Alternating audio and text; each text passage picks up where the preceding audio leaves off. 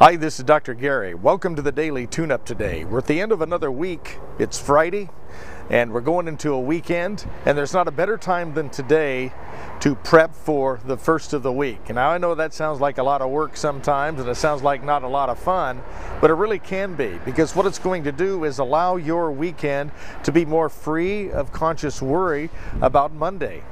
There's nothing worse than Sunday night thinking about Monday morning and I got to go back to work and I don't know what to do and I don't know where to start. So today, when the pressure is off, get your work done and then just make some notes about where to start on Monday morning.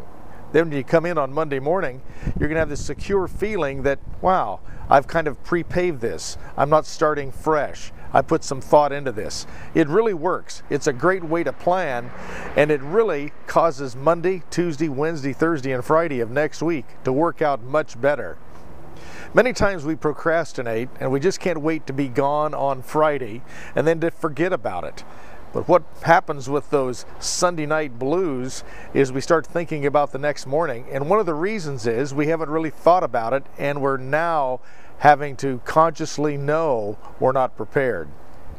There's always a wonderful thing about opportunity. And opportunity is when you really prepare, know your material, and have a plan. As the old saying goes, if you fail to plan, you plan to fail. So let's work on that today on this beautiful Friday, wherever you are in the world, and understand whatever's going on in the world really has nothing to do with you as long as you tell yourself it's going to work and you're going to do whatever you can to get it to work. And that starts in this moment, right here, right now, this inexhaustible present moment that gives way to the next moment, which creates our future.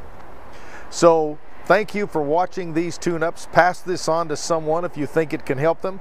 Let's go for a blitz of signing a bunch of people up. The more, the merrier. And I also appreciate all of you that are watching my morning program live at 7 o'clock, which can be watched on the archives right here on DGTV. The link is on this particular email under the Jumpstart. So until Monday, this is Dr. Gary wishing you a great day. Now let's plan. Bye-bye.